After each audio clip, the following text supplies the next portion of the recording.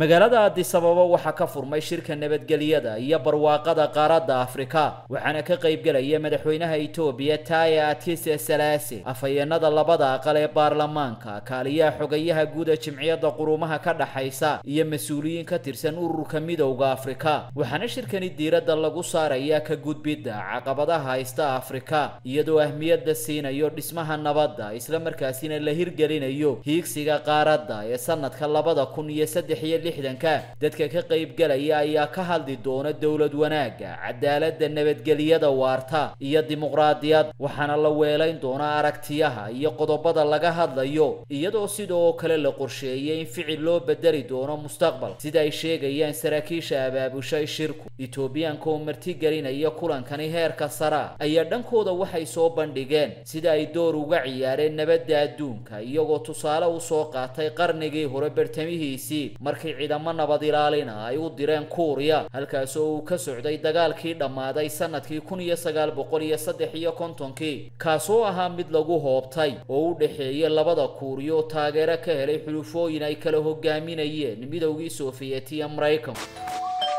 maasha allah soo dhowaada.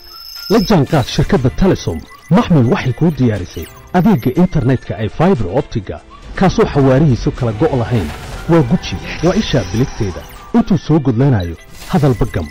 hagarle ii ku isticmaal sochial midiyaha kuna daawo wararka cayaaraha iyo onlaine geemiska haddaba maxmil soo gasho gurigaaga xafiiskaaga iyo goobtaada shaqo